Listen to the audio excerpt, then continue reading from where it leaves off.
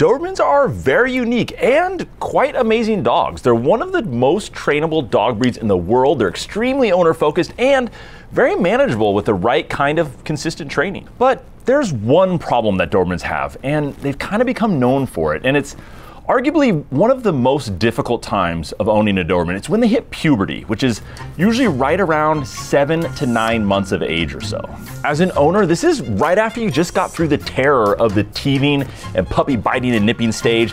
It's kind of starting to go away and you think all is good. Then you get hit hard by the reality of owning a Doberman during the teenage phase. And today we're going over the behavioral problems that Dobermans often have during this notoriously difficult phase for Dobermans, how bad it can get, and what you should do about each one, right here at Doberman Planet.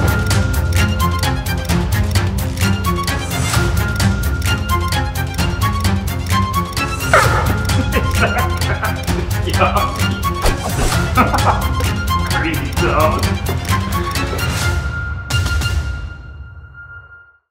Male Dobermans especially, but females also at times can experience a regression in potty training when they hit puberty. In other words, you thought your Doberman was fully potty trained and they're trustworthy in the house. Maybe they bark at the door when they need to go or they ring some doorbells or something that are hanging from the door, but now they're starting to have accidents inside the house again. Super frustrating. I've seen this so many times with Doberman owners that I coach. Their puppy is often fully potty trained at 12 weeks of age. Then, at around six, seven, eight months old or something, this hits this phase. And during this phase, they just start to pee in the house again. So at this age, their hormones are kicking in. They may also be feeling a little stressed because of, you know, all these weird feelings that they're having at this time.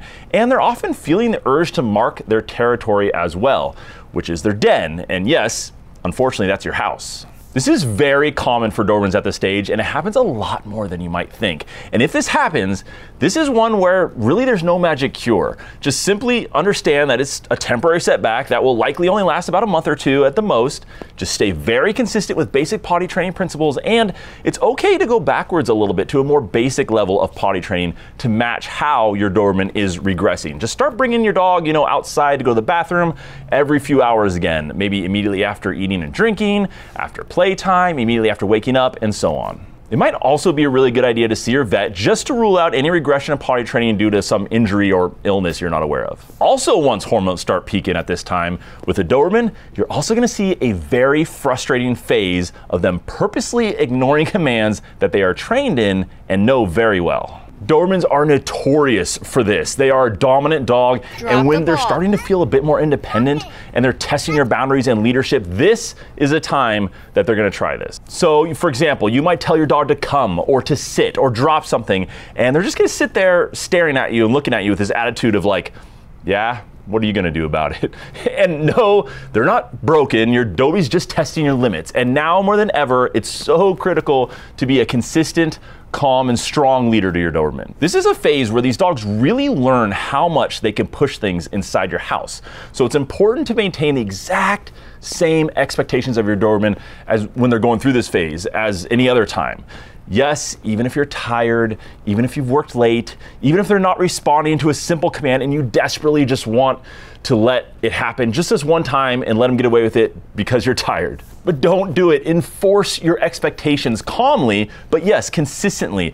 If you tell your Doberman to come and they look back at you with that glance, just calmly walk, walk over to them with a leash, clip it on, and guide them over to the exact same spot you gave the come command from. Have them sit in that spot and give them some praise like you normally would give them for listening to your command. No more, no less. Stay consistent and calm, and remember, this is just a temporary phase. Trust me, you'll get through it soon.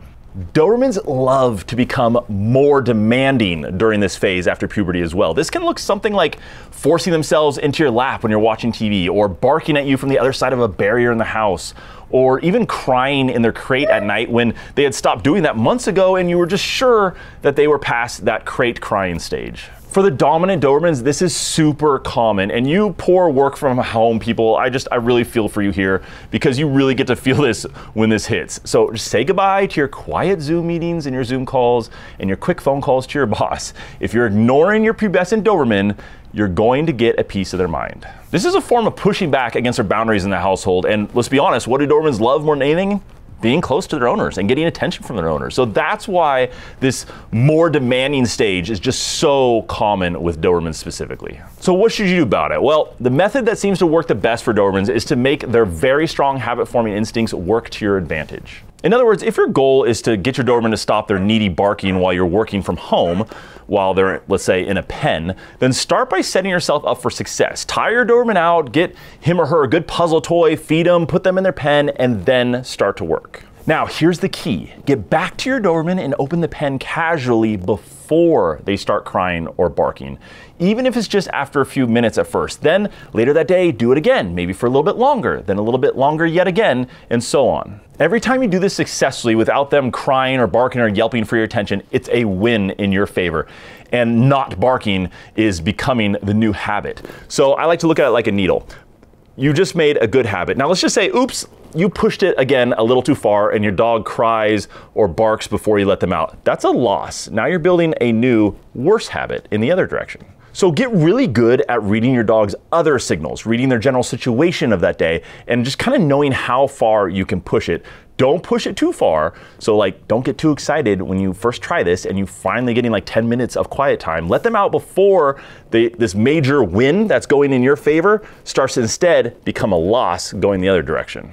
Another very common behavior this natural protection breed experiences around puberty time is excessive barking and just general reactivity things. It could be someone just walking by your house, or it could be leash reactivity to other dogs or people. This happens often in Dobermans, but we did a recent study at Doberman Planet that showed that this behavior is actually more common in female Dobermans than males. And actually, we'll link to that study down below in the sources section of this video if you want to take a look at that study. Now, with their hormones kicking in, they're just starting to realize what their primary purpose is in this world is to keep you safe and along with that comes these barking issues, unfortunately. So now there's a whole science to addressing excessive barking depending on what the specific triggers are, but it usually involves some form of desensitization and reassociation training. Oh, and this is where we get to find out if your socialization efforts, you know, when your dog was really young, like under 16 weeks of age, was enough. A well socialized dog is gonna have a lot less issues here. So how'd you do with your socialization? Were you on top of it? I sure hope so. You may have already guessed it, but general dominant behavior tends to become an issue right here after puberty with Dobermans. This can be with small things like pushing boundaries in the house, or it can get a lot more ugly, like being overly dominant with other dogs at a dog park and causing issues or fights. This is where it's going to be really important that you're a great leader to your Doberman and really give them the guidance that they're craving at this age.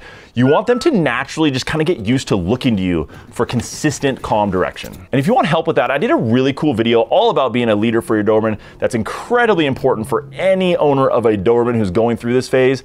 Uh, like seriously, maybe even watch this a few times. It's one of the most important videos I've done, and it should be popping up right there in the corner of your screen.